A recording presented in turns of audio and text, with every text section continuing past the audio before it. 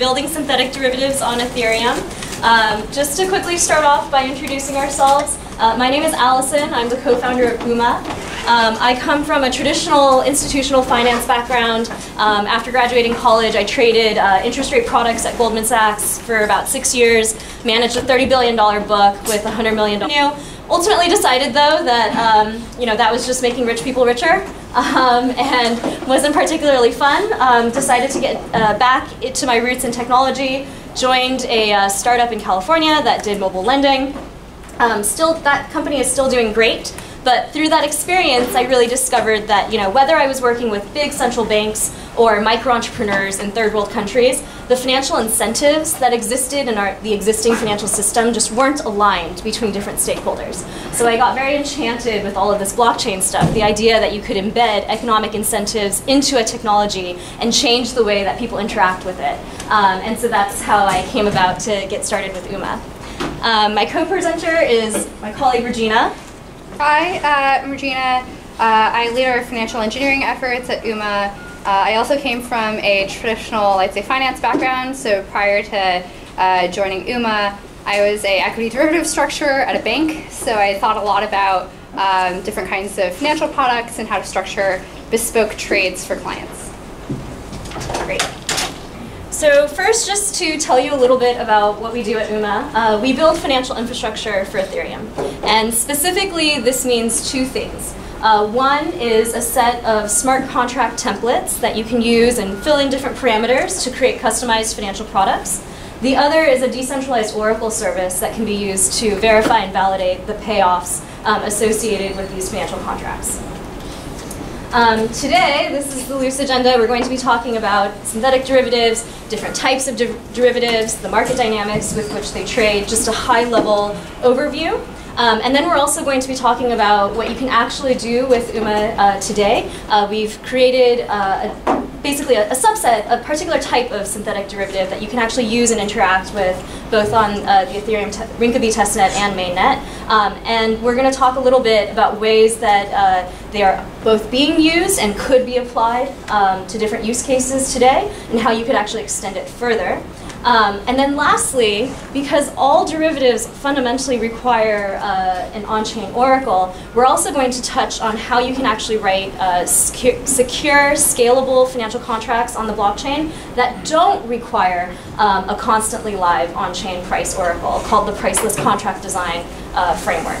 And hopefully we'll have a little bit of time at the end for Q&A. Okay, so um, just to really quickly introduce synthetic derivatives here, I'm sorry if this is a little basic for some of you, um, but derivatives are a very, very, very flexible um, invention within financial products where basically you can create any arbitrary payout structure that you want um, based on external reference data. And so what we build at UMA is basically the smart contract templates of if this, then that logic for how different payouts should work um, and then the decentralized uh, Oracle service to validate the accuracy of this external reference.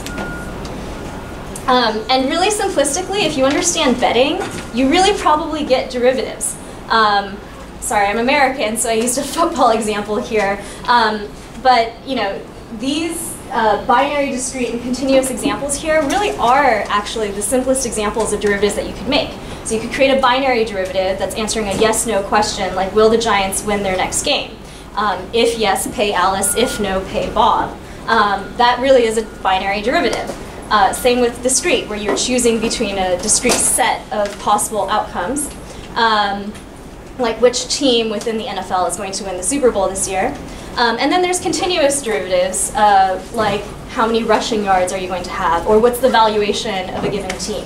Um, and just like when you're making a bet with somebody, you have to define the terms of a derivative in advance.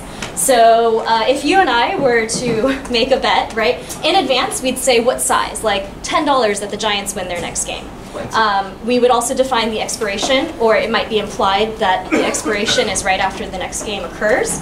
Um, and we'd also have to talk about the collateralization and payout terms. Do I just trust you, or are we both going to put $10 into a pot and have somebody else hold on to it?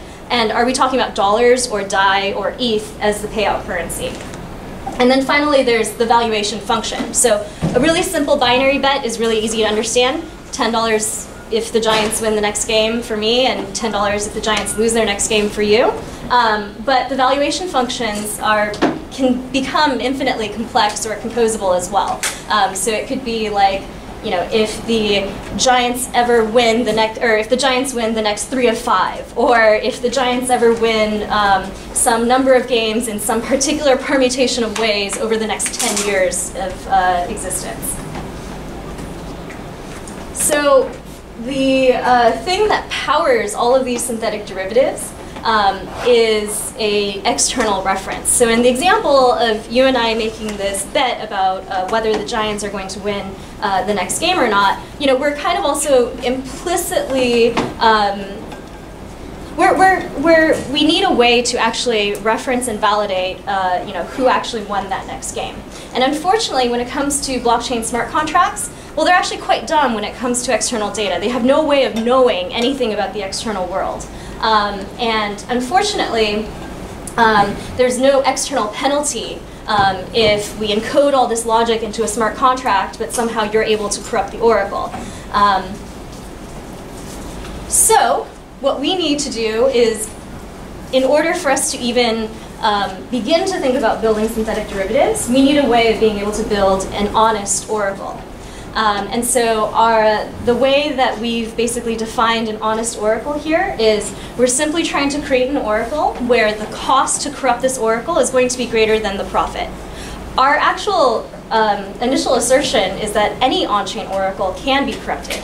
There's some way in which you could potentially, um, whether through a bribe or even hardware mal malfunction, cause an oracle to return bad data. So we need to make sure then that if we're going to be using an oracle to, uh, to validate the payouts of a multi-billion dollar or multi-trillion dollar contract, um, that we have a way to guarantee that it will be on and that it will be honest. And so in the example um, earlier of you know, Alice and Bob entering into a contract that has external reference data, the way that we can think about setting up these incentives is uh, any amount of money that Alice and Bob are putting into this contract uh, to back you know, their bet is a potential profit that somebody could earn if they were able to corrupt the data. Um, and the amount of money that an oracle would accept as a bribe to actually uh, corrupt that data is kind of the potential cost of corruption. So what we need to do is to design a mechanism to keep the cost of corruption greater than the potential profit from corruption. Um, and so it's really just three simple steps. Figure out what the cost of corrupting an oracle is, figure out the potential profit somebody could make by corrupting the oracle, and have this mechanism, uh, build this mechanism and prove that it's going to work. Um, ah, I cut the slides with all the math, but uh, the white paper is on our uh, GitHub if any of you are so inclined to go and, and look at it. Okay, so... GitHub, sorry? I'm sorry? GitHub.com slash? UMA protocol. Yep. Um, okay, so talking about synthetic derivatives, um, I gave the really high overview of how you can create arbitrary payouts, and these payouts can be binary or discrete or continuous. Um, there's also another thing to think about when it comes to synthetic derivatives and the, the way that they're created, which is how many counterparties are involved. So if it's just a bet between me and you, that's a bilateral trade. Typically those are done peer-to-peer -peer or OTC. Um, and because it's just you and me that need to negotiate the terms of this thing, we can make it very, very customized. We can make the payout in Nike shoes if we wanted to, even though nobody else in their right mind would probably want to build out a market for trading, you know, Giants games relative to Nike shoes. Um, so uh, in other types of synthetic derivatives, the number of counterparties involved are way more numerous. So um, in some cases, you have many people who want to be on one side and many people who want to be on the other side. Um, typically, when that happens, uh, a good example of that would be like um, you know BitMEX perpetual futures, where many people are long perpetual futures on BitMEX, many people are short perpetual futures on BitMEX. And what happens in the BitMEX exchange is every single term of the contract is already standardized, and the only thing that people are negotiating when they actually trade is price and size. So it simplifies the potential terms for negotiation because everything has, else has been standardized in advance, Um, and it allows many people who are long and many people who are short to actually be able to coordinate to do a trade with each other. Um, generally speaking, many to many, uh, when the, the, counterparties are many to many, um, those products trade on exchanges. Then there's this kind of newish paradigm that exists uh, in this blockchain space, which is a one-to-many uh, coordination mechanism. So that could be like one smart contract to many users of the smart contract, or what Regina is going to be talking about later is actually our first template, uh, which is a template that lets you build synthetic tokens where there's one creator of the synthetic token facility and many users of the synthetic token that gets created from that facility. Um, and depending on the specific dynamics of that contract that they create, that product could subsequently trade peer-to-peer, OTC, or on exchange, depending on um, how liquid uh, how liquid the underlying product becomes. So as Allison mentioned, one of the first products or financial uh, product templates that we've created is one of these synthetic token builders. So I'll talk a little bit more about what a synthetic asset token is, and then I'll also show you hopefully a video of how you can actually use the synthetic token builder to build your own synthetic tokens on Rinkeby testnet today. So a synthetic asset token is, as Allison said, a type of one-to-many derivative, a synthetic derivative. And what that means is that uh, one person, such as me, could create a token facility, which is this rectangle, could create this token facility, and then mint tokens from that token facility that I can then distribute to other people to give financial risk. So in that sense, it's one-to-many, where I'm a single token sponsor giving financial risk to many different people, all who just have to, have to hold some token. So they don't actually have to enter any particular bespoke agreement with me. All they have to do is buy a token that was created from a token facility that I created. Okay, so in that sense, a synthetic asset token looks a lot like other over-collateralized lending facilities that you might have seen. So I think this looks very similar to, for example, a Maker CDP, where in the same framework, you're depositing some collateral and then using that collateral to back tokens that you're minting and then distributing to other people. There are definitely a couple of differences, though, between this and a Maker CDP, namely uh, that these, for example, are expiring tokens.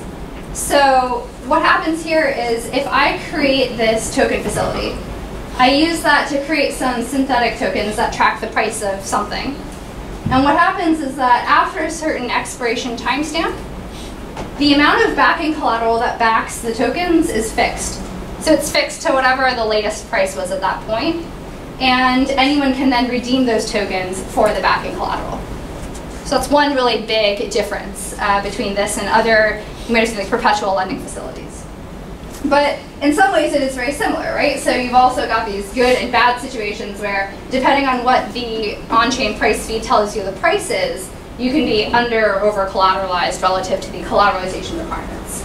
So in the good case, the price feed tells you, okay, this is the actual price, that's how much collateral you need to have to back the tokens. You need to be over collateralized by say 5 or 10%. That's where that is. And oh great, you've got excess collateral in excess of the required collateral.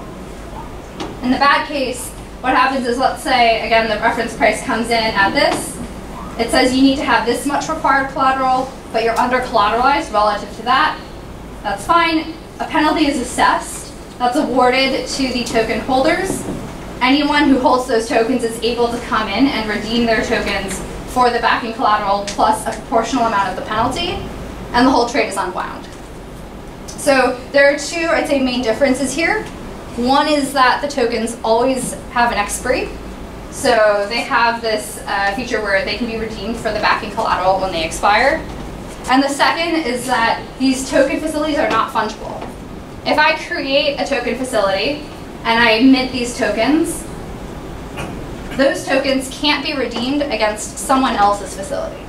So they're non-fungible in that sense. Whereas with DAI, right, DAI is fungible. You can use DAI to close out anyone's CDP.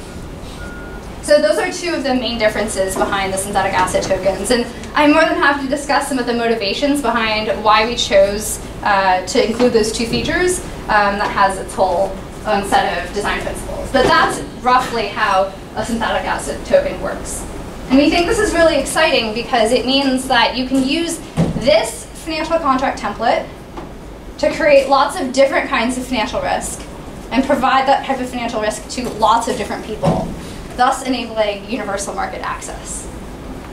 So Allison will discuss some other examples of that, but first I'm going to show you uh, that you can build your own tokens on Rinkeby using the synthetic token builder. So if you're connected to the Wi-Fi, you can go to tokenbuilder.umaproject.org. And on Rinkeby testnet, you'll be able to actually follow along with, hopefully, the video that I'm about to show you. You just need to have testnet ETH and testnet DAI. All right, so let me try to get this video up. Sorry.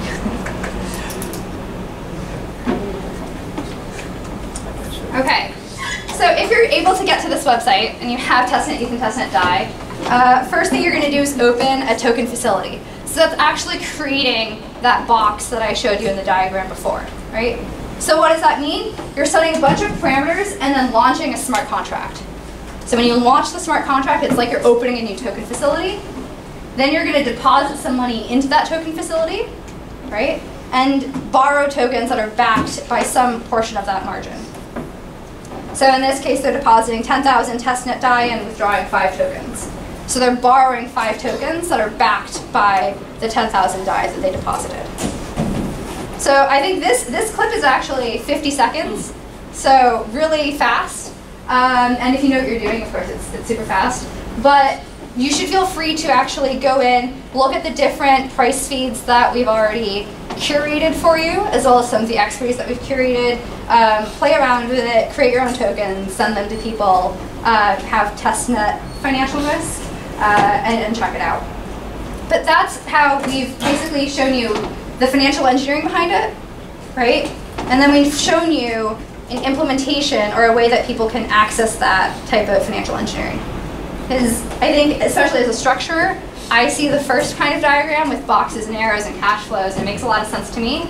But one of the really cool things about tokenizing this kind of financial risk is that it becomes very accessible. Once you have these tokens on testnet, you can just send them to anyone and begin your financial risk that way. There's no need to hammer out a bilateral agreement uh, between two counterparties. So that's the video. Let me close this. Um, was anyone able to actually get onto the token builder? Well, we tried, and uh, for at least trying, uh, this is the, the QR code for that uh, Ethereum Galaxy game. Um, so that was going to be our, our little challenge, but um, feel free to scan that and then collect your, your star. I'm just going to pass it around too so that Regina can move on with the presentation if you don't have it yet. Okay. I see some phones, so I will give you three seconds. Okay, and that's it. That's it. So we're, we're moving forward. But anyway, the paper is circulating. I did say three seconds. So okay, now we're going to talk about a bit more about the financial engineering behind the scenes and what that synthetic asset token really is and what it's doing. So as I mentioned before, right? In that video, what someone did was the first thing he did was he defined a couple of parameters. So he chose a price fee, he chose an expiration date, he chose a name for his tokens and his token facility. Then he deployed the contract, right? So now we've actually got a token facility that's live on Rinkeby testnet. Then what did he do? He deposited the collateral, right? So he deposited DAI. DAI is the margin currency that we've chosen for the synthetic token builder at this point. Um, but of course, that's something that you could change. Uh, we, so you deposit DAI into the token facility. Then you borrow tokens that are backed by some portion of that DAI. Remember that you're over collateralizing the value of the tokens that you're borrowing, and so there will be at least as much DAI in there as the value, the DAI value of the tokens that you're borrowing. And then once you do that, right, that's all done by this token sponsor. So that was the position that I was saying I had before. I'm a token sponsor, so I'm creating the token facility and then borrowing the tokens. And now, as a token sponsor, now that I have these tokens, what I do with them, I trade them with someone. I trade them with a token holder um, to actually begin having financial risk.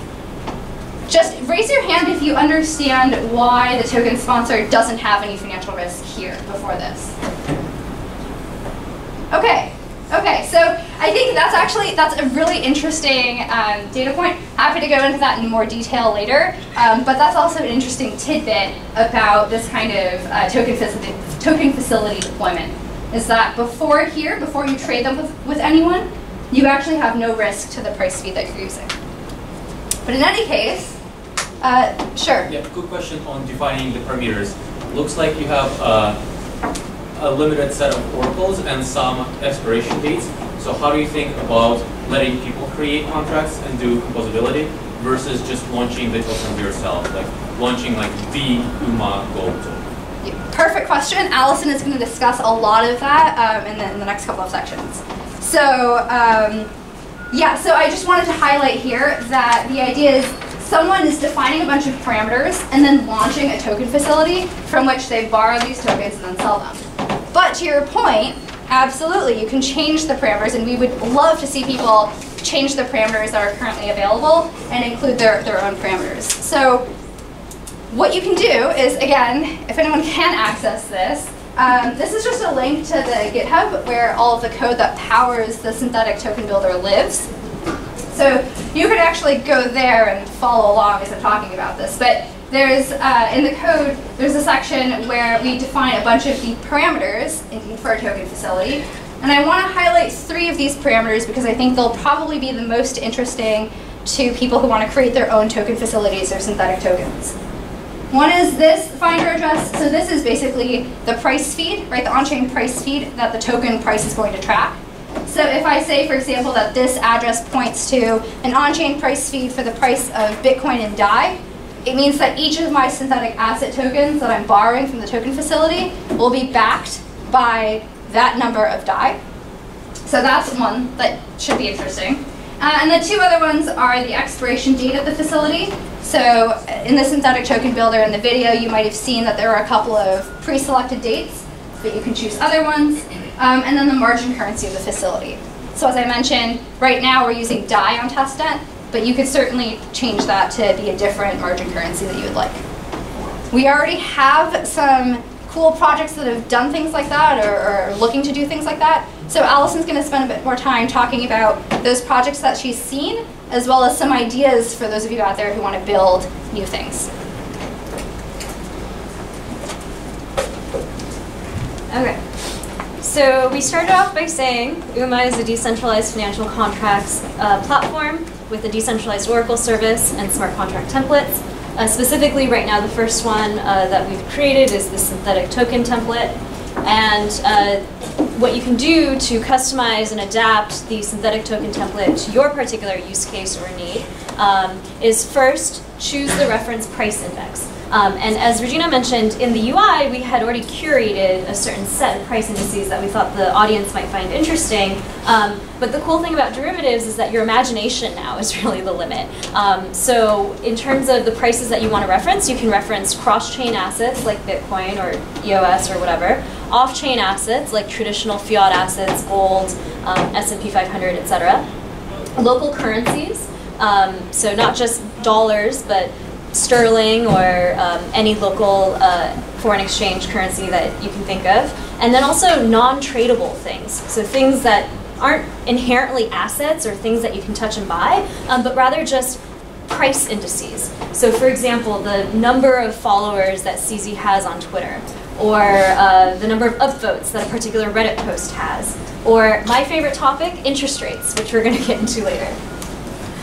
Um, you can also customize your margin currency. So, you know, in the DApp UI, we uh, curated it with DAI. It's just a little bit easier from a mental model perspective, I think, to think about things in dollars. But you could also use ETH or even things like interest-bearing stablecoins so that you can be even more efficient with your margin. Um, and then once you've created your synthetic token, there's a lot of different ways to actually apply them and use them. So you could go and trade them on an exchange or build, a, build an exchange around synthetic tokens. Uh, you could use them for local payments. Um, you could, in, like for example, if we had a synthetic yen token, we could be trading yen with each other um, instead of trying to figure out actual cash. Uh, you could obviously interface with them through a wallet or some other sort of brokerage experience. Um, and by a brokerage experience, just to differentiate that from exchange, that's like how um, if you're buying stocks in the US or something, you're probably buying them through a broker. You're buying them through like Fidelity or Robinhood or E-Trade, um, as opposed to trading directly on the New York Stock Exchange or something like that. Um, and then you could also look at um, creating funding and issuance platforms. So much like the Maker CDP portal, um, you could actually use these token facilities to attain leverage for yourself, but in this case, customize levered exposures. Um, so just to highlight some of the use cases that we found really interesting um, and that we're either uh, working with on proof of concepts um, or, or supporting in the marketplace. Um, I talked a little bit earlier about local currencies and how they can be used for payments. Uh, there's a really interesting company called Sempo. Um, hi. so they're building, um, they uh, basically help NGOs to give aid um, directly in places that have been affected by disaster. Um, and for an aid recipient, right, they don't really want to think about DAI or ETH or whatever. They think about their world in their local currency. But unless their local currency exists as a stablecoin on the blockchain, we can't actually use a blockchain-based wallet to facilitate that whole process. Um, so what we can actually do then with the synthetic token builder is reference the price of the local currency, so like the Vatu DAI exchange rate, um, and then we can margin that contract with something that has real value, like DAI or CDAI, interest-bearing DAI. And then we can use these synthetic Vatu tokens that get created um, in the actual wallet and payment system so that from a user experience perspective, the end user just thinks, oh, I'm moving Vatu around. Great, like I'm familiar with that, instead of having to do some sort of mental gymnastics around what the DAI to Vatu exchange rate is. Um, another really cool use case, I don't know if Tom's here, but um, If you're building international wallets or serving international users, many of them lack access to um, international uh, traditional fiat assets. Or if they're already crypto native, just would prefer the convenience of being able to manage all of their financial assets out of a single wallet. Um, so what we can do is reference something uh, something like the S&P 500 or a, another major global stock exchange, margin it again either in a stable coin or an interest-bearing stable coin, depending on how capital efficient you want to be. Create these synthetic tokens that track the value of let's say the S&P 500, and then actually sell that to these international users that are looking to invest um, in US stock uh, indices but don't otherwise have access to it. And then the third use case is making otherwise untradeable things actually become tradable. So a lot of people talk about Bitcoin dominance, right? Um, and you can look at you know the Bitcoin dominance index. Um, or you could look at an altcoin dominance index, whatever it is. It's actually really, really hard to trade, right? There's thousands of coins. Imagine trying to actually go around and swapping those in and out and then rebalancing it in live time. Um, you'd incur a great deal of, uh, of trading costs and it's just kind of a, a headache. Well, what you could do instead is you could create a synthetic token that directly references the Bitcoin dominance index itself uh, margin it in whatever you think makes sense, um, and then take these subsequent tokens and trade them out. So if you wanted to, if you're a Bitcoin maximalist, right, um, you could actually buy a Bitcoin dominance token. Or if you're an altcoin, if you wanted to short like the 2017 ICO craze, you could try to create this facility and sell an altcoin dominance uh, token to somebody else as well. Um, on the topic of non-tradable indices, um, I'm going to talk about interest rates in particular. Um, so interest rates have this really, really interesting quality where um, they give you one more variable to play with. So most of the time if you're trading something, like if you're trading Bitcoin for ETH, there's only two variables that you care about. How much am I trading and what's the price that I'm trading at? Um, and you know, most things kind of follow your standard uh, 2D supply and demand curve. When you're trading interest rates, you add another variable of time. So interest rates measure the cost of renting some amount of money for a period of time. Um, and you end up being able to basically create these 3D interest rate curves according to um, what the cost of renting that money is, how much money you're trying to rent, and how long you're trying to rent it for. Um, the killer use case so far in basically all of DeFi has been within borrowing and lending, um, and that the interest rates that are used in those borrowing and lending uh, protocols have all just been short-term interest rates. They're more or less ignoring time, and they're saying, here's the cost to rent Dai for, uh, you know, to rent, you know, 100 Dai. Um, and then the interest rate actually resets every time uh, the stability fee changes or every time somebody new interacts with that compound lending pool. But, oh, but uh, if we wanted to create an interest rate market, we could actually create a market for uh, how much it would cost to rent that specific amount of Dai for a defined and longer uh, period of time. The reason why this is important is because, first of all, it's a huge, huge, huge market. Um, if we look at the fiat world, derivatives are a 500 plus trillion dollar market. Almost all of it is interest rates. Um, so, and if you want to talk about uniquely enabled use cases, these things have to be traded synthetically. There is no other way to trade time without a synthetic derivative because an interest rate is an abstract thing. You can't touch, look, see, or feel it. It's not a token. You can only trade it in the form of a derivative. Um, and it's important, actually, that we are able to trade these interest rates and allow people to trade interest rate risk um, over time because right now the only reason why people are using these borrowing and lending pools in DeFi is generally for speculative and kind of not price sensitive use cases. Right? If I believe that ETH is going to moon next week, I don't really care if I'm borrowing at 1%, 10%, or 25%. But if you're talking about non-speculative use cases, a home loan, a car loan, business loan, student loan, uh, price does matter a lot more and the ability for borrowers and lenders to actually start offsetting their interest rate risk, the ability to lock in interest rates or speculate on interest rates is a fundamental necessity in order for these use cases to get unlocked in DeFi. So this is why, uh, you know, we care a lot about this. There's a whole hour and a half long workshop on YouTube that you guys can find later if you want to go really deeper in. Um, but I'm going to highlight three ways actually that you can create interest rate products with UMA today using the synthetic token template.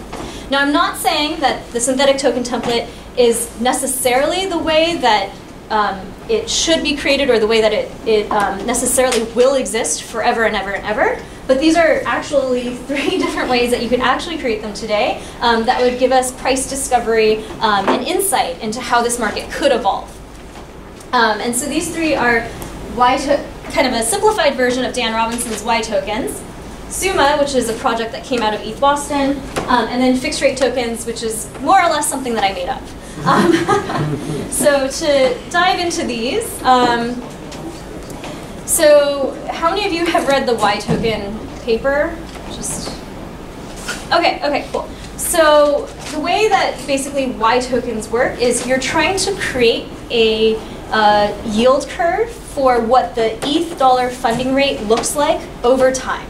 Um, so how much money will it cost, or sorry, how much will it cost for me to borrow dollars against my ETH for different periods of time? That's, that's what a yield curve for ETH dollar would be, um, and, and that's what the motivation is for creating Y tokens is. The way that it would work is you take the UMA synthetic token template, you make the reference price index the price of dollar ETH, so it's just one divided by the price of ETH. Um, you use ETH as the margin currency, and you basically just say that every token I borrow will pay out $1 at expiration. If the price of ETH goes up, it's less ETH, and if the price of ETH goes down, it's more ETH. It's always $1 worth of ETH at expiration. Um, and so effectively, it's sort of like what you've created there is an expiring stablecoin. From the token sponsor's perspective, if they were to create this product, create this token facility and borrow tokens against it, it would enable them to get levered ETH exposure. Kind of a similar reason to why anybody might open up a, a MakerDAO CDP or something like that. Um, but the difference is that the way that they would get this exposure uh, would be uh, with a fixed interest rate over the lifetime um, of that token facility. From a token holder's perspective, they get to own a token that they can redeem for $1 at expiration. Um, and they're buying it for less than $1 initially. Free money, right? But basically, it's it's kind of like um, interest it's an interest-bearing token, interest-bearing stablecoin, but you know, kind of different from CDAI. Um, and if we have a market for this, what we could do is observe the market price for these Y tokens that have different expiration dates and use that market price to calculate back into what the implied funding rate for ETH dollar is for different periods of time. So you could create a, a Y token that expires in three months, a Y token that expires in six months, and a Y token that expires in one year. They would all have different prices. And based on that price, you could get an implied interest rate um, based on that implied interest rate, you'd be able to build out a yield curve, and then you'd have better visibility into what the market expects the ETH dollar funding rate to look like over periods of time. Right now, all we know is that the maker what the maker stability fee is today. We don't know what it'll be next week. We don't know what it'll be next month. And it's actually quite hard to figure out what expectations are. If any of you have ever been on any of those governance calls, there's quite a bit of debate. This would actually give them more insight into what the market uh, already naturally expects uh, the interest rate to be um, over different periods of time. Um, another way to create this is through uh, SUMA tokens, where basically the reference price index is 100 minus the expected st uh, stability fee that you would pay between two fixed uh, dates. So let's say the two fixed dates are January 1st to December 31st. Um, and we're, uh, what we're referencing is what the market expects the stability fee to be on average between Jan 1 and DEES 31. And then we take 100 minus that. Um, so the price of this thing would generally always be less than 100. Um, the reason uh, and the reason why somebody might actually want to do this is if they wanted to really directly speculate on what their expectation of what the expectation of uh, interest rates are over time. So the token sponsor would make money if rates increase. Effectively, a token sponsor could use this if they were a borrower and they were worried that interest rates were going to increase. Um, and so they could create these SUMA tokens um, in order to match off the P&L there. Um, from a SUMA holder's perspective, they make money if rates decline. Um, it's kind of like a lender who wants to lock in their interest rate today because they think interest rates are really high and they're going to go down in the future. And same deal, we can look at the market implied price um, and it'll reveal information about what the market expects uh, the interest rate to finally be in the future. Final version is a fixed rate token. It's just kind of like SUMA tokens, but a little bit simplified.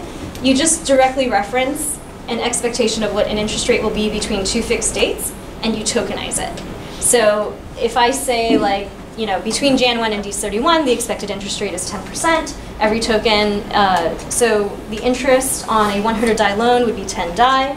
Um, then the token would be redeemed for 10 DAI at expiration. And then you can directly trade these fixed rate tokens between each other. So every token is effectively the variable interest rate that you expect uh, the MakerDAO system to cost you on a $100 loan um, over those two fixed dates. So, to kind of summarize what we covered there with all these different use cases, um, synthetic products are highly composable within the DeFi and general Ethereum universe. And the innovation can kind of occur at many different levels. The innovation can occur, occur at the uh, price index level, where you can just make up, basically, or reference arbitrary price indices. The financial engineering level, basically the interaction between the price index and the margin currency and the payout structure that you're creating or even at the application layer. So how you're delivering the product to the user and what's new or unique or, or different or special about the way that you're delivering that product. Um, and synthetics are really great because they you know, offer the features of leverage, support for cross-chain, off-chain, non-tradable assets, um, and this ability for synthetics to enable risk transfer for things that were previously uh, not tradable is critical for developing markets like interest rate markets, um, where we can start to think about supporting non-speculative use cases. And so Regina um, is now going to talk about how you can actually build um, contract templates, not necessarily just the synthetic token one that we already have, but other contract templates that are safe, secure, and, uh, and scalable. The fundament, as great as um, synthetics are, um, at a fundamental level, they all require an oracle. And on-chain price feeds are expensive. They um, are hard to maintain. They're dangerous. Um, you know, a number of DeFi projects out there all do use oracles, and many of them have had oracles that have actually failed at some point or the other. Um, and so we actually believe that you know it's it's going to be really hard for DeFi to actually scale at a global and large size um, without a secure on-chain, or sorry, without a secure oracle. But we believe that the right way to actually build these contracts that need an external price reference is actually to minimize the use of on-chain um, oracles at all. And so Regina is going to talk about our, our uh, framework for writing templates that fulfill this. I want to emphasize one more time that the topic of this workshop is building synthetic derivatives, right? So what we mean by synthetic is specifically this, that the financial risk that you have on-chain comes from an external price feed comes from a reference asset that the derivative is referring to, rather than any sort of physical token that's being borrowed or lent to achieve leverage. I just want to emphasize that like very, very clearly because I think the rest of this talk is going to be about getting rid of those price feeds. And so I want to make sure that everyone understands that like synthetic derivatives are all about referencing an asset and they have nothing to do with um, like actually physically borrowing or lending anything to get leverage. So on that note, we talked about this token facility, right, and how uh, there is a certain price uh, that comes in from this price feed that tells you how much collateral you need to have to actually fully back the tokens, and then again what your collateralization requirement is. So based off of this one price feed that's being pushed into this uh, token facility, we know both the price, so the amount of backing collateral, and the amount of required collateral. So we know these two things, then we just do a check to see if you have sufficient collateral to meet those requirements, right? And so depending on what price the price feed pushes, you know that you're either in this state or in this state. And once you're in this state, you know that, okay, great, like this penalty is assessed, and that all gets paid out to the token holders, and people get to redeem. So this is how probably most people think of synthetic derivatives. I'd say, in fact, this has a lot of analogies to how fiat works and how uh, synthetic derivatives are settled in fiat. So if this is our existing framework for how we margin and trade and settle synthetic derivatives, we've got a lot of dependency on this price feed. And that's why these price feeds are so expensive. We pay a lot for them uh, in the fiat world. Uh, and of course, as Allison has been talking about with the Oracle, they're corruptible. So if I stand to make a lot of money by, say, maybe from this penalty, maybe it's really in my favor to, to corrupt this price feed so I can recoup the penalty, or so that I can really reduce the amount of money that token holders get, I might want to crop this price feed. There are a lot of reasons that in DeFi especially, this is susceptible, and in fiat, there are a lot of reasons why this is really expensive. So I'd say it's funny because like in fiat, it's expensive from a dollar cost perspective, and in DeFi, it's also expensive from a like computation and keeping things um, alive on chain perspective. So we are talking a lot about corruptible oracles. Uh, is there any legal framework to basically put some liability for uh, for the price hits, like in the current business? In fiat? In traditional business? Yeah. So I, in traditional finance, I think uh, there there might be I would say the larger, like the, the more conventional way that we've addressed this issue in fiat is uh, we hire a lot of people to look at prices and confirm that the prices that are being sent from one custodian to the other custodian are correct. But if somebody will lie, then you know we can undo the things, right? And yeah, that's another thing that you can do on fiat is that you can undo these transactions. So you can hire people to go back and, and move money back from certain accounts to other accounts we should be able to backport this feature. I know it's not fully classless or let's say like yeah. automated, but no, this is the world we are living in. Like the, you know, the, the light can happen. Yeah, I think that's a little bit out of scope for this presentation, but happy to discuss uh, later. Okay, so as I mentioned before, right? In that picture, we've got these price feeds that are regularly pushing prices to smart contracts. So one way to visualize this is to say, okay, we've got this price feed that runs that someone has to maintain Um, it's an unverified price feed uh, here in the sense that I'm going to say it's just something that's been piped in from, say, Bloomberg onto the blockchain.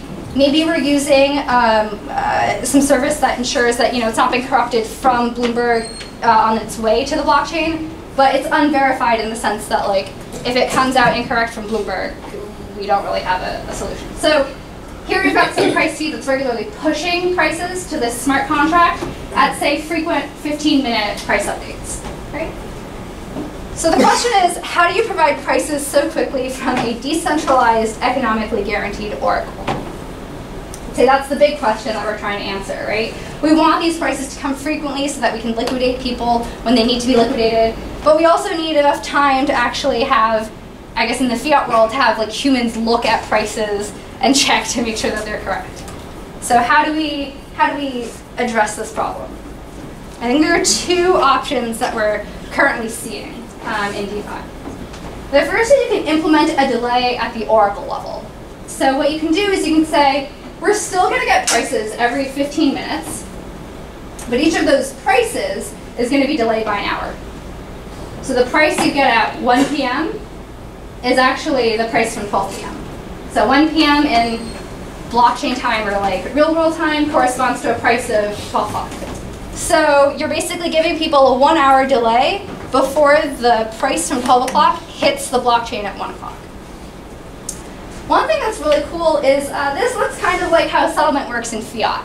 So right now, if you trade stocks, uh, let's say in your uh, brokerage account, as Allison mentioned, uh, you get filled at a certain price and you know that you got executed at, say, the price from 12 o'clock, but the stock doesn't actually arrive at your custodian until, say, two business days later. So you don't physically have it or you don't have that record implemented until that time. So in that way, right, it's a lot like uh, this kind of mechanism where you've got this price that's delayed, then hitting the blockchain at a later time, and then you move you actually move tokens or collateral at 1 p.m. to correspond to the 12 p.m. price.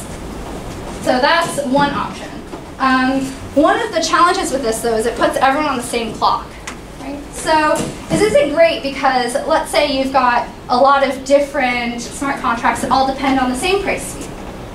Um, it, this is fine, but it means that let's say you've got some contracts that have, you know, a small amount of money and you're okay having it be updated every 15 minutes. You don't need the one hour delay. It's not that much money at risk. Like, I'd be happy without it. But let's say you also have some contracts that have a lot of money and you really, really care about making sure those prices are right. Well, this, this it works, but it puts everyone on the same clock. So maybe not ideal. Another option is you can implement the delay at the smart contract level. So what you can say is, uh, right, so again, the price is coming in exactly at 1 o'clock this time. But then what we say, that's fine. Uh, we recognize that price on chain, but we're going to move margin uh, at 2 o'clock. So here it's just like the, the picture I had before, but instead of implementing the delay at the Oracle level, we're implementing it at the smart contract level. But still, it again, it looks still like in fiat. It still looks like the option from before. The only difference is, do we implement the delay when we're moving margin, or do we implement the delay when the price is coming on-chain? Requires fewer Oracle calls in the sense that you don't have, for example, here, right? Like you don't have uh, this like one hour delay, so it's a little bit less Oracle intensive.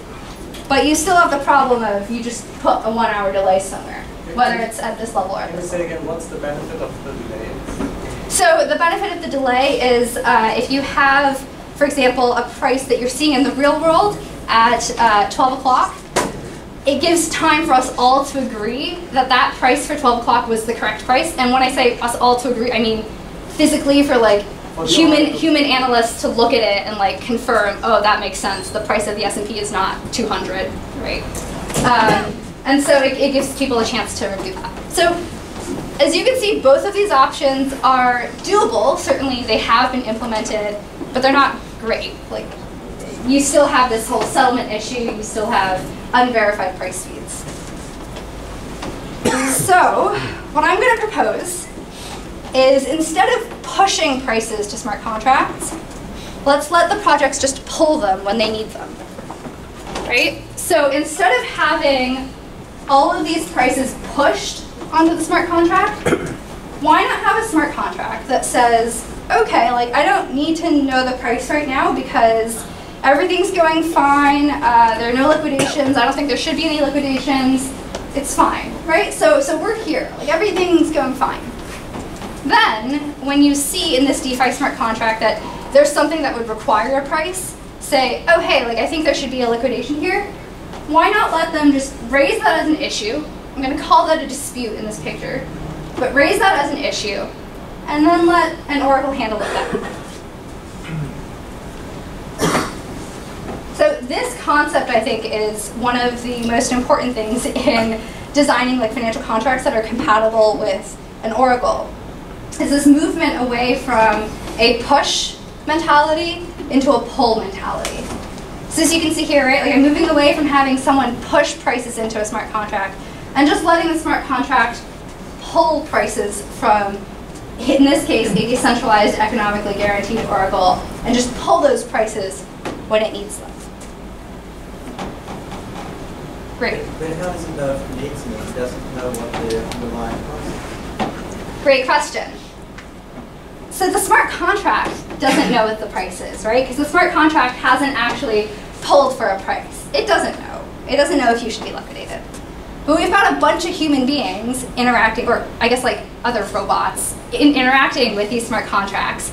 And they can do the work of saying, oh, based on my assumption of what the price is right now, I don't think there should be a liquidation. So I don't need to raise a dispute to make that smart contract pull a price down. What I can do is I can say, well, it looks fine to me because I can see off-chain that, oh, like I look at the price on Bloomberg, it looks fine. I think that these should not be liquidated. I'm okay, I don't need to pull a price.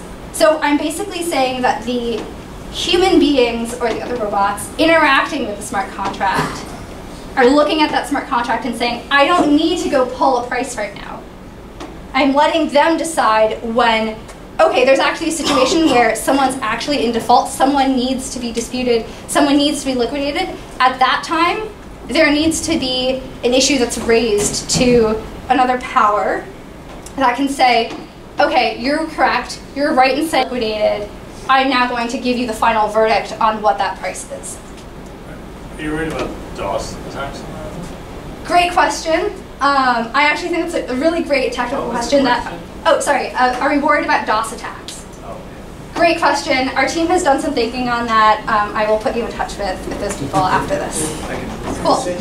So, so let's. I want. I want to get through the rest of the, these slides because I do want to mention this in the context of synthetic tokens, which I hope will be helpful in understanding the framework. More than happy to take questions after this and, and outside. Cool. So I talked about this framework, right? Now let's talk about how you might apply them to the synthetic tokens that we were just talking about. Because in the synthetic tokens before, right, there still was that problem of, okay, well, we've got these on-chain price feeds that our team is really hard to put on-chain, but those are still corruptible and potentially um, could cause liquidations when there shouldn't be. So how do we make these synthetic tokens in the priceless framework? I, I kind of mentioned this in my answer to that next question, so I, why I took it. But um, here's, here's what you could do, right? You've got a token facility. You know there's backing collateral in it. And you know that there's some amount of total collateral. So I can see this information. I can see this information, kind of. But what I really can see is the total collateral. And then and sorry, I'm saying I as the token holder, right? So I'm someone who holds a token that was issued from here. What I can say is I see the total collateral. When I look outside of testnet, I look and I say, oh, okay, Bloomberg is telling me this price. Based on that information, I can say, well, that looks right. Okay, he's got enough collateral that if that price were to be pulled onto the blockchain right now, and it really were that price, there would be no issue. Uh, this person would have enough backing collateral, they would have enough to meet the required collateral. These question marks would turn into checks. And so what I can do as a token holder is say, this looks fine, I don't need you to pull in a uh, price. I don't need you to, to pull that data and perform that very expensive uh, check to make sure that everyone agrees on the price.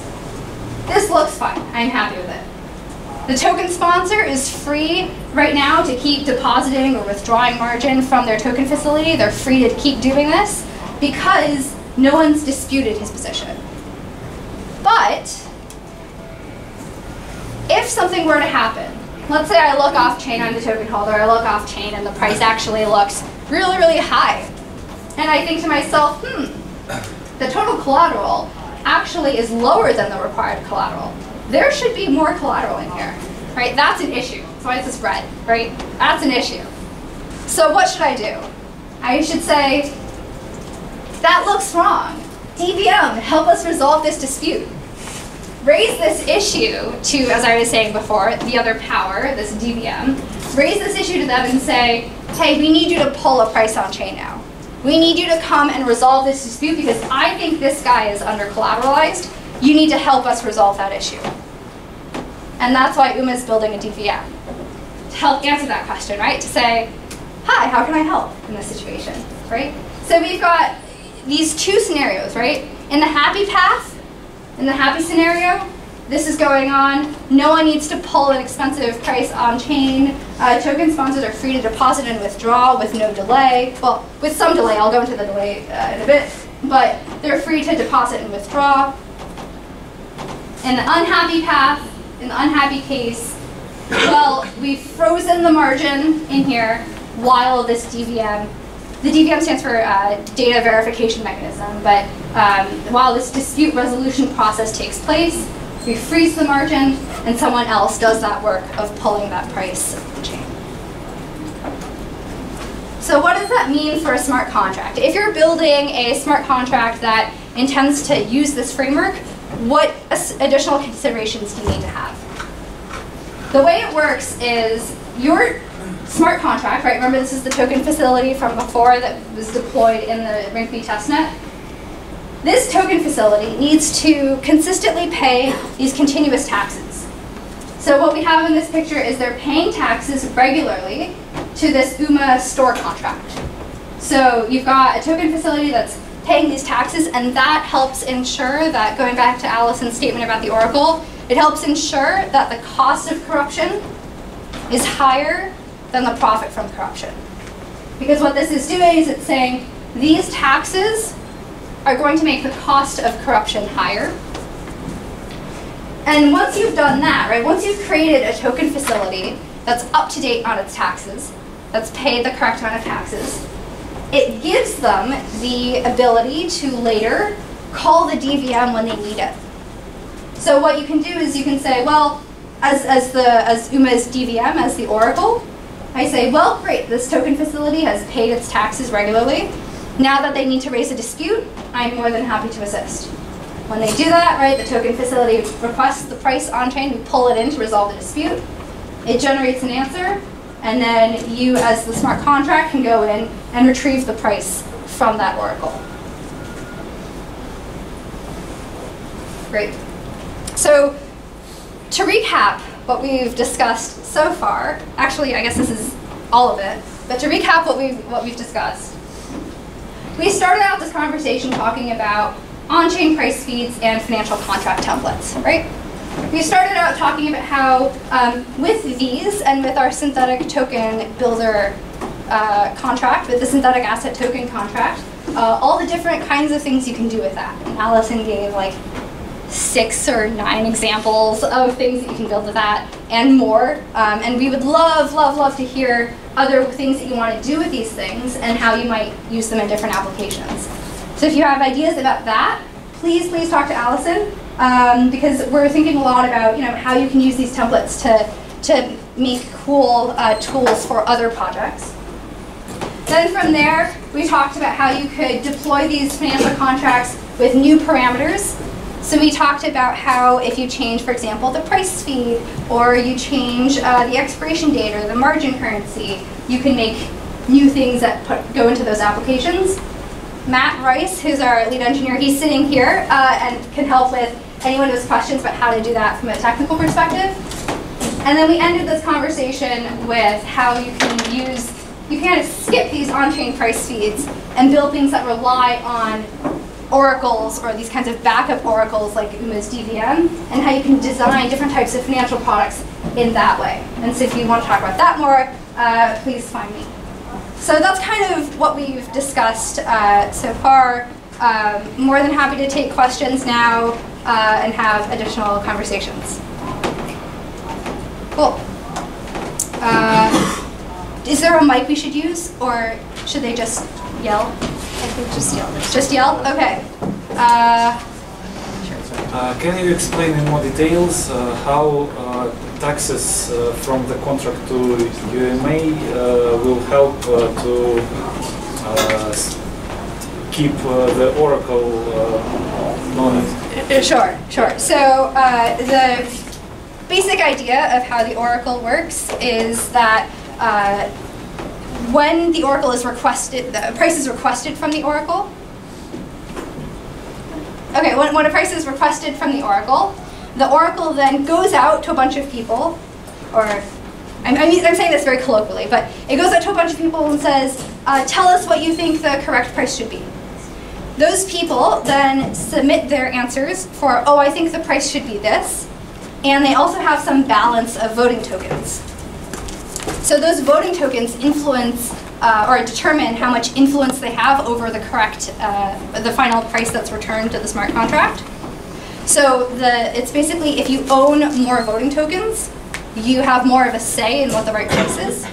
The taxes that I was describing before, those go to do uh, token buybacks. So those increase the cost of corruption because now those tokens have gone to, to increase the price of the tokens. So if you want to go and bribe the Oracle, you need to go out and buy more voting tokens, but those voting tokens are now expensive. That's the cost of corruption.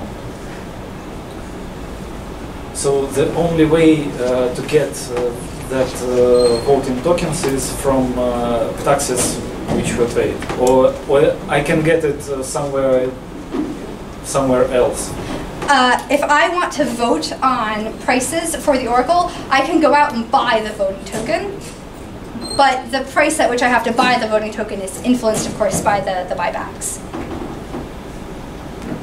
Okay. Do those voting tokens get burned when they get used?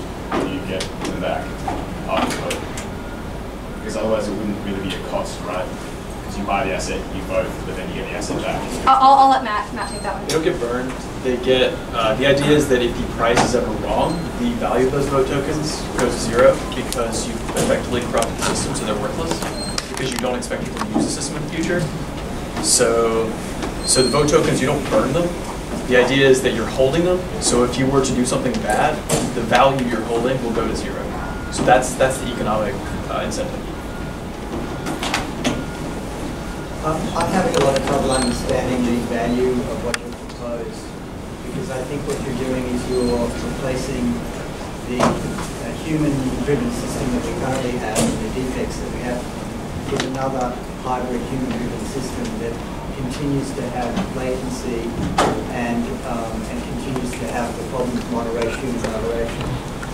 So, you know, if you can show me how we, we deal with the latency of settlement and the problems caused by human moderation, then I love what you're doing, but right now I'm having a lot of trouble understanding why this is better than what we have. Okay.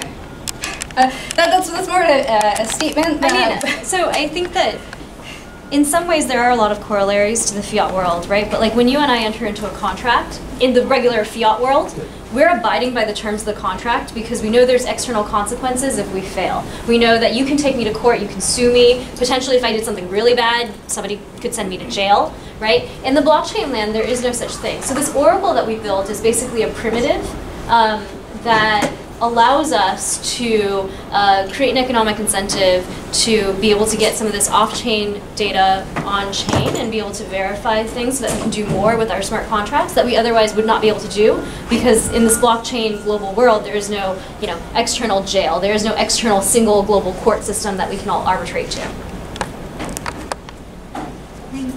Hi, um, what if the token holders or whoever's information sort of that full event or that liquidation event, and now the price is corrected? And then secondly, what happens if since then um, tokens have exchanged hands? Great. So on the first question, let's say you're right. So so let's say someone um, misses like a situation where uh, the right. So let's say in that in that diagram, uh, in that diagram, right? So uh, there was a situation where initially we were here, and then we got here, and no one uh, called to pull for a price. There are two outcomes, right? One is uh, the next time someone does call for a price, we're still here, so eventually it gets caught, just not by the first person. The second case is that um, by the time someone's come in to say, oh, hey, something looks off, we're back here. In which case, what's happened is you've given someone that kind of like optionality, right, of saying, oh, well, oh, I know I'm under collateralized, but I'm just going to hope that no one calls uh, to pull for a price. I think that's a very valid concern, but the hope is that with lots of different voting token or voting um, with lots of different voters or with lots of different counterparties in a system that has like more liquidity, that people will be monitoring that stuff. And I would say actually one of the cool things about potentially the way that this ecosystem grows is that we eventually have um, third parties that are incentivized to watch for this kind of stuff and pull, pull for those kinds of uh, price feeds or um, pull those prices because they've got some kind of economic incentive to do so. So I think there are lots of ways that this could, could be built um, in the future and have like different add-on features. Yeah, um, so all of systems that you're describing, I, I assume would uh, still, like, in whatever jurisdiction they're operating, um, the existing jurisprudence would apply. And I'm wondering how much research you guys have already put, put into the types of legal contracts that would be needed to enable um, someone to operate with, with these kinds of systems, right? Yeah. Um, so pretty complicated because every country kind of has their own set of rules. Um, the first thing to kind of understand is that sadly there's a lot of ambiguity when it comes to this stuff. Actually, not just because of the blockchain aspect, but just in general. The definition of a derivative and the definition of a security is not always super clear. And it really depends on the specific facts and circumstances of what you're trying to create. So if, for example, you're using a non-security as the, if you're using something that's not a security as collateral, like ETH, and you're using something that's not a security as the reference price index, like the price of Bitcoin, um, and you don't have very high leverage, then you know it's unclear these products, depending on jurisdiction, could be classified as a derivative or a uh, loan or a hybrid instrument, but certainly not a security. Alternatively, if you use a reference price index that absolutely is a security, like the price of Apple stock, um, or if you're using a margin currency that absolutely is a security, um, like some sort of an STO thing, uh, then yeah, like that would probably be subject to securities regulations. But it always depends on the precise combination of things that you're trying to do.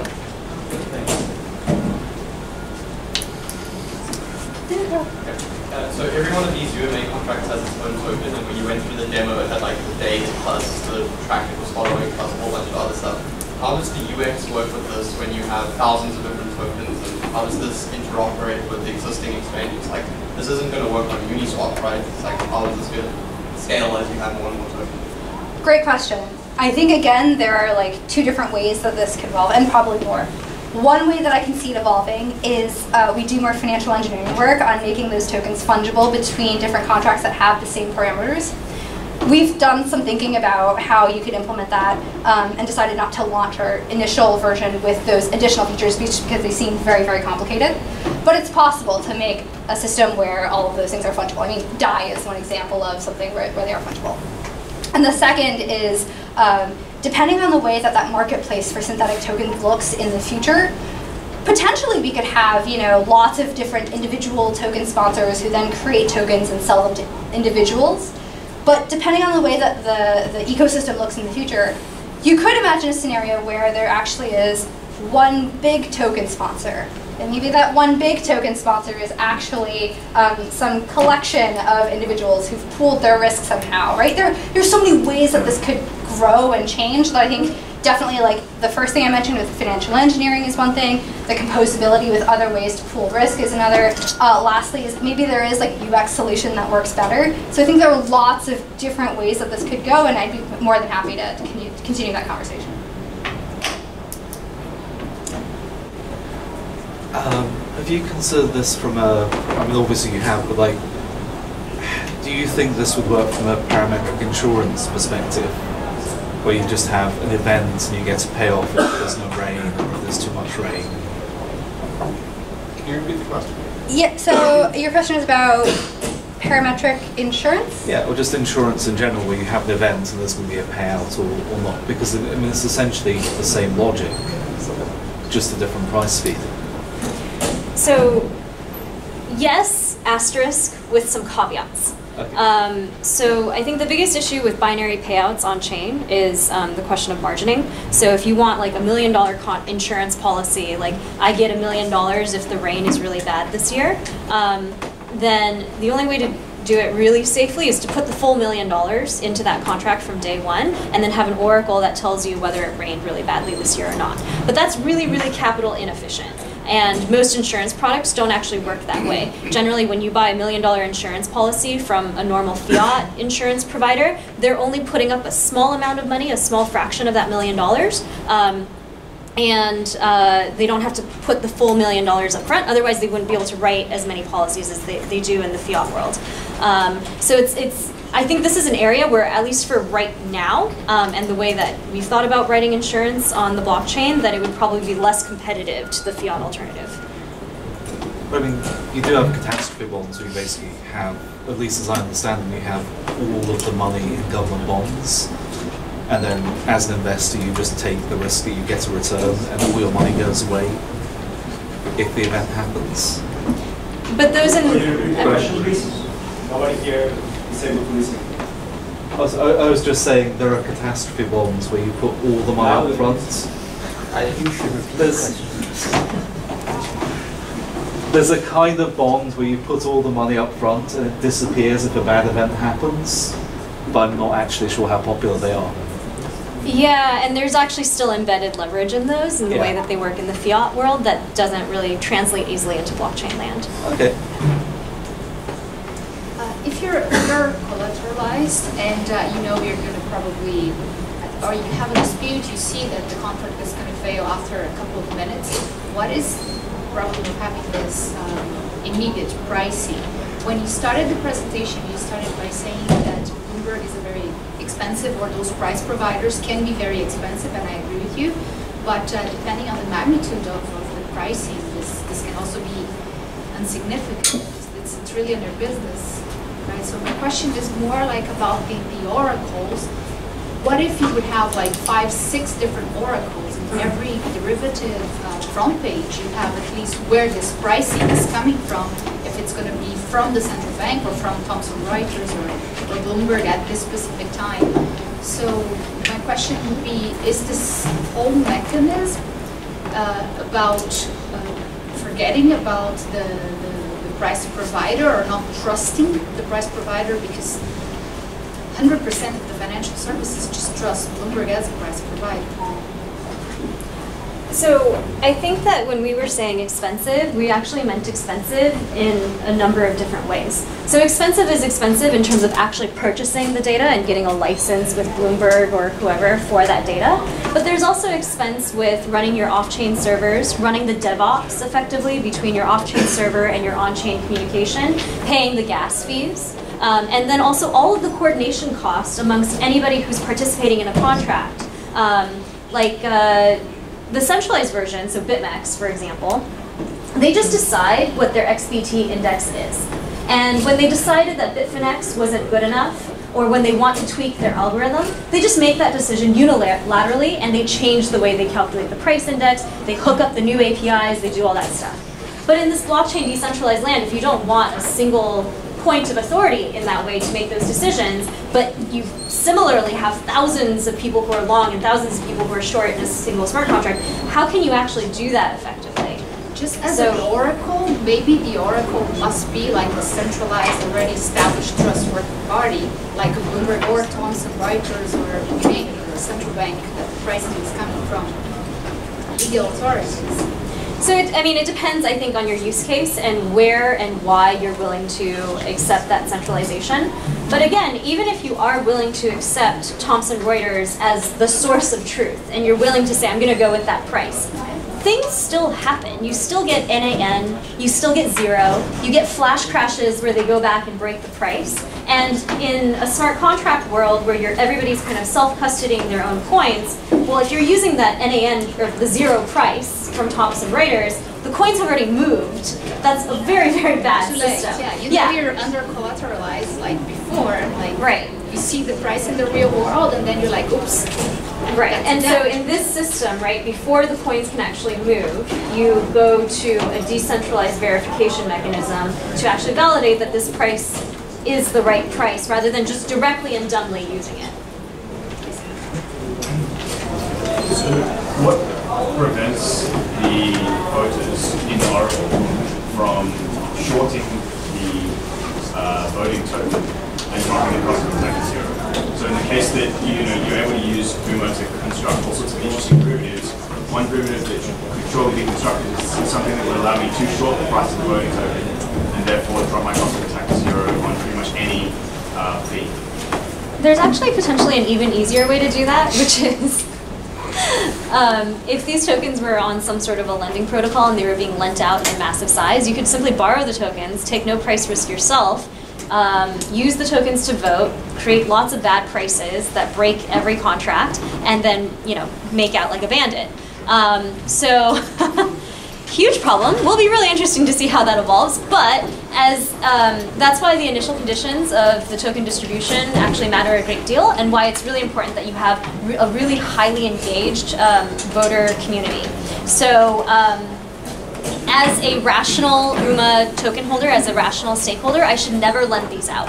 Or if I ever observe that there is a meaningful portion of these being lent out, then I should not, I should no longer own these tokens. But in a market where you, you know, you've got hundreds of billions or trillions of dollars locked up in these contracts, and then suddenly someone does just decide, screw it, I'm not a voter, but I'm going to create a derivative that will allow me to short this token. Uh, coordination required to get everyone to peacefully exit their their contracts before something bad happens is just not practical. But you need somebody on the other side who's willing to go levered long. So if you want to short a trillion dollars worth of these UMA tokens, you got to find somebody who's willing to go a trillion dollars long. So in that discovery process, in it will impact the market. There will be signal to the market that this is happening, um, and so that it should not happen. It would be irrational for that to happen. But, but isn't the payout dependent on like how much value is left inside these contracts? So I mean, like for, for example, if, if, if, um, if the derivative was worth a lot more than let's just say the total market, cap of uh, EVM tokens, like you still have that risk, right? So that, that's actually the system that we built, where if you have, let's say, a hundred million dollars of margin locked inside of smart contracts that are referencing the UMA Oracle, um, then the UMA tokens must be worth at least $100 million, or the value of the voting tokens actually must be worth at least $100 million in order to prevent a Sybil attack. So that's actually why we have that dynamic tax rate um, that Regina talked about earlier. So if we ever observe that the value of the tokens is too low for the system to be guaranteed to be economically safe because there's so much margin in the system, we would actually implement the tax on the system and use that tax to buy and burn tokens until the market cap got high enough again. And, and, and so, so what is the tax paid in? Like what, like what form of collateral? Because every every uh, contract is different collateral, right? Yeah, every contract has potentially different collateral, and uh, the acceptable collateral is a governance parameter of the system. Okay. So you wouldn't be able to just use some random altcoin that nobody actually knows what the value is. Please take your stuff with you. Don't leave it here before you leave. Uh, we, we still have more time for more questions. Okay, I- I'm gonna leave this up so that you, at least you guys know who we are and come find us later. Um, Uh, I'll, I'll go ahead. It, it seems to me that, um, like looking more uh, sort of holistically at what you're building here, that uh, by using the pull model instead of uh, the push, you're kind of um, diffusing the, the risk um, to external parties that are not on chain. And um, I'm wondering if there are some ways that the risk becomes more difficult to quantify when uh, that happens because now you're sort of banking on um, a sufficient level of market players and a sufficient amount of market activity to really catch those edge cases where we do need to um, invoke some kind of a, I forget what you called it, um, a dispute. Dispute, yeah. Um, and where there might be like uh, things where you're just you're not noticing things are happening because your contract is essentially um, rarely getting uh, data, right? So uh, I'm just curious if you've thought about this more and, you know, if maybe there's some things being missed here, you know. Yeah, I mean, definitely. I think one of the key takeaways is just economic incentives drive the world, right? And so, um, within months of MakerDAO, for example, releasing their keep their reference implementation of the Keeper code, somebody had already improved it, and yeah. their original code was being beat every single time, um, and they haven't yet had a failed, you know, uh, uh, liquidation. So similarly, that we didn't go into it explicitly here, but a portion of the penalty actually is basically paid out to the caller of the dispute, and so we economically incentivize people to actually go and dispute, in addition to just saying like everybody take some responsibility for it because like you kind of should. Yeah, I mean, engineering-wise, I find it um, any pull versus push mechanism is, is just more elegant, right? So I really admire that. I'm just thinking that probably new challenges. Yeah, definitely. I think, I think also standardization is important. So if you, so I think if you had a billion smart contracts and a billion different ways to distribute all of them, and they were, you had to, you had to write a separate API for each of them or whatever to actually, to actually be the, the keeper in that system, it would be very hard. So I think the key part of building these sorts of systems and making them successful is making sure there's a standard way to quickly look through all the contracts and make sure there are no disputes across the model. So for instance, if you had 10 MakerDAOs, you want them all to have the same API, so the same keeper code would work for all of them. So one person can run one system and monitor you know, 100,000 smart contracts easily. That's the idea. How would you say your Oracle solution differs from uh, other solutions out there like um, Augur or like Chainlink or some of these other systems? How would you say yours is kind of unique and um, how are others not necessarily? Is it sort of the around the financial engineering or the derivatives part of it? Yeah. So I think the UMA system is very different from systems like Chainlink um, because what Chainlink is effectively doing is taking the programmatic API data and then um, making it such that rather than having a single node reporting on it, you have multiple nodes reporting on it. Um, we're similar to Augur in that we both use a Schelling point game to incentivize the reporting of on, like honest reporting, um, but we're different in the implementation details. Um, specifically, that Augur has to have a designated reporter um, initially rather than in our system we're actually using the entire network for reporting. And also augur's markets are done in natural language uh, which is beneficial for some things in that you can do more um, but really harmful for other things in that a lot of markets resolve in uh, invalid. Um, in UMA's system, the uh, price requests are standardized, so there's just a simple identifier. Um, so my question uh, related to the scale of this Oracle system. It is a pool system, which uh, is of course requires much less uh, uh points of information than as you illustrated uh, with regular intervals. But still, you need a specific action. It's more like it's not. Maybe it's more like an order. You ask the, the Oracle for something, then some action happens on, on in response to that order. So you cannot have like 50 oracles use the same information, or 1,000 oracles use the same information as you would have if you just regularly push data to the blockchain, and then the, the, the different uh, the different contracts would just pull that one piece of information because they are all doing contracts on gold, for example. But in your case, you would have an action request each time there is a need for result.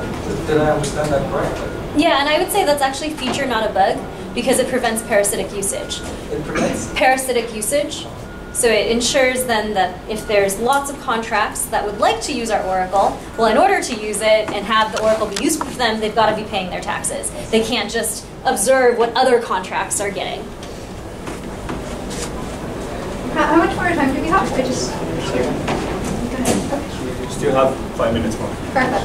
Uh, so actually thinking about the legal framework, would it make sense in your opinion to really anchor the users of the system to a legal agreement? Anchor the users to a legal Yeah, to make a legal agreement between the users of, um, of the tokens with the sponsors and, uh, and the Oracle holders. That would be something that could happen at the application layer if that was a desired feature, but not a built-in feature of this. Are you planning to build it? The legal, no. Why not? There's over 100 countries. In many countries, in fact, yes, uh, and the financial instrument will be considered as a security. So if you seek for adoption, yeah, so I think that that, again, is just something that needs to be handled at the application layer and not the protocol layer. So on, on the dispute resolution process, um, one thing that kind of occurred to me is that you not only need to be able to then query um, your Oracle to find out what the current price is and see whether there's a, a, a discrepancy, a you know, significant gap there. But you also need to like, or at least I'm asking, do you need to then query a histor- uh, like a certain amount of historical data to verify that this um, uh, upside down. What I don't know what you call a state in a derivative where it's, it's not. Yeah, where it's under collateralized. Whether this state has occurred in the recent past, right? Because the, the, the dispute generally is saying like something happened here, right? But it might not it might not be in that state anymore, right? So you, I assume you have to kind of go back a ways and say like it's not in that state anymore, but it doesn't really matter. It, So, are you sure? Because now it's now over collateralized. So the point you, you call dispute, you say, you're basically saying contract is bad right now.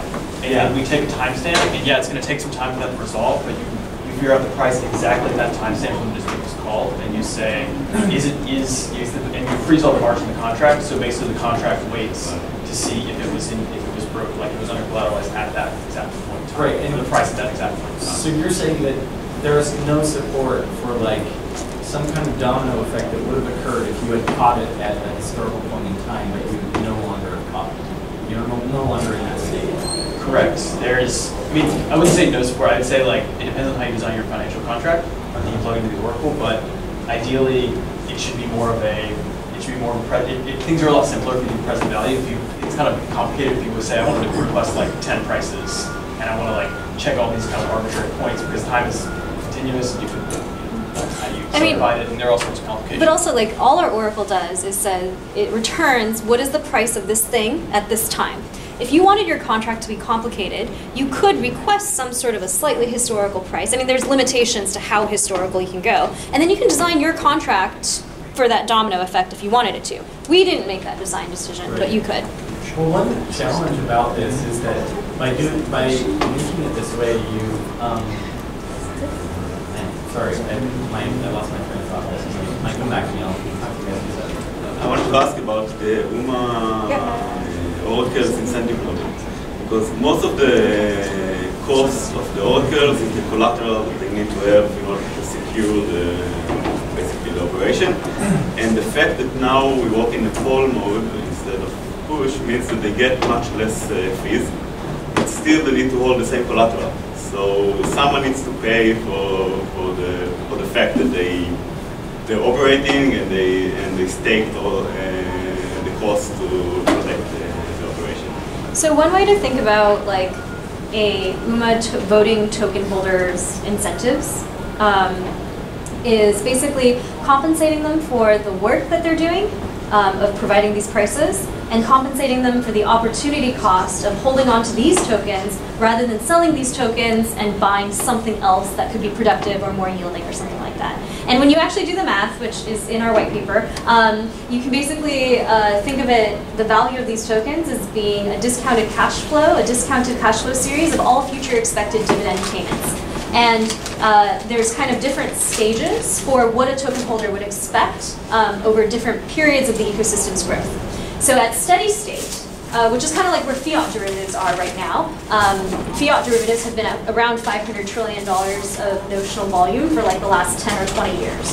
Um, so at a steady state in the UMA ecosystem, the desired compensation from UMA token holders is pretty much simply just the, uh, the yield that they want to be earning on their assets. Uh, whatever that target yield might be, it might be a function of the environment, it might be a function of how much work they have to do, et cetera. Um, but you can think about what those assumptions might be. You can look at like traditional stocks um, and what the dividend yields are for those things um, and, and come to some number like if an UMA token holder might demand a 5% annualized yield or a 10% annualized yield and then back that into what the taxes would look like on, um, on, uh, on the financial contract users. And it's actually quite reasonable. Um, so back of the envelope math tells us that something like a 50 basis point annualized tax on these financial contract templates on just the margin, which is an even smaller percentage of notional, would be sufficient to compensate UMA token holders and still earn them a, health, a healthy yield. Uh, a little bit about the, the roadmap and the current usage. Uh, I see you're plugged only into Ethereum, but are you blockchain agnostic as a protocol? And then the second question is uh, regarding testnet, mainnet, uh, and what are people basically building that you have seen on the past six months, maybe a year from now mm -hmm. um, ago. it's basically only interest rates, more effects. It's a DAI versus what are the actual projects that are coming using the. Sure. So um, the synthetic token template, that financial contract template, it's both deployed on mainnet and testnet the mainnet implementation is referencing a centralized Oracle. So it was really just to test proof of concepts of different applications and use cases. Earlier this year, a market maker used it to create a US stock index token so that anybody who owned crypto could also own US, get exposure to US stocks. Um, we ended up deprecating that, um, and now we're working with other uh, kind of uh, other proof of concepts around, we, I think I mentioned currencies earlier, there's a different stock thing that we're working on now with a different um, application layer provider. Those are coming out later this year or next. On the decentralized Oracle side, um, our biggest internal priority is to get that onto mainnet um, later this year or early next year. Um, right now it's still in private alpha testing. Um, and your final question? Uh, blockchain agnostic? Blockchain, just, uh, theoretically, yes more Ethereum ERC? Theoretically, yes, but practically speaking, um, the Ethereum community is pretty magical, and I think DeFi composability and standardization is a huge component of what gives this stuff value. So until or unless other blockchains actually um, have that type of community where these applications really make sense, it doesn't make sense to try to go and deploy elsewhere. Um, so during your talk, you sort of showed how a lot of um, projects are relying on sort of, you know, 15 minute let's say, of price feeds that are being pushed to the chain. If you have a lot of these derivatives in existence that use the same oracle, um, why wouldn't they sort of band together and batch them in lots of 15 minutes and then it kind of degrades to just one price feed? And you can actually end up with a lot more value relying on the oracle than is being paid in taxes because they don't all need to double up. If someone's just created the oracle last five minutes, I probably don't need to create it again, and I can avoid the tax. Yeah, yeah. So what you what you are uh, the question you're asking about is basically what Augur calls parasitic usage, right? And maybe do you want to talk about? Yeah, I mean, we have some, we have uh, quite a few ideas about how to how to deal with this, but the rough idea is that like we we don't want you to be able to do that. We want you. Uh, so we have we have designs for like basically whitelisted contracts in some ways based on their bytecode, making sure they kind of follow the rules to allow them into our system. And it's a little bit technical how we prevent contracts from getting around those whitelists by just like reading the reading chain data, like basically proving this data exists in the smart contract and reading it that way. Um, but it's a little more like we can talk offline. It's a little more I mean, the, the summary is kind of just fuzzing so that can't directly read outputs, but it's all fuzz, so that's private information. Yeah, we, we do payouts rather than like prices. So you don't say the price is $5, you say this person gets $7 and this person gets $3. And that way it's unique to the contract and not and everybody can't use that because it's specific to that particular contract. If you wanted a price, you'd have to request separately. Sure, you can, uh, take it from you. Last, last question? Yeah. or- Okay. Can you talk a little bit more about redemption of the underlying that expiry? So like, I've got these tokens and like a thousand people have bought them and now it expires. Uh-huh. They need to go and pull their underlying out of the contract, right? How does that work? What is the UX around that? Uh, it's a great question. Um, I, I think uh, there is like a, a challenge of how do you broadcast to all token holders that it's time to redeem the tokens. I mean, ideally they, they know that they should go back and redeem for the underlying collateral. Again, a lot of different solutions I'm going to throw out there. One is that uh, you know you could have the wallets be in charge of that, right? So for your wallet that's supporting these kinds of tokens, like you're able to go back and read what is the expiration date and notify your users, right? That's one way. The other way is in our synthetic token builder DApp we have right now it's geared really towards token sponsors, right? Because it shows you what your collateralization is and whether you should uh, deposit or withdraw. Again, that could turn into a portal that all token holders use, as well as token sponsors. A lot of different answers, uh, but would definitely love to collaborate on uh, different types of projects if you're interested in building that kind of functionality. I mean, ultimately, I would say they kind of, the solutions that we've envisioned all currently live at the application layer, not the protocol layer. So we're building this infrastructure and would love to, if you have ideas about how we can support at the protocol le- level, would love to hear them otherwise. Okay. Yeah. I think we're going to end here, but would love to chat uh, outside and, and later on the office. Thank you.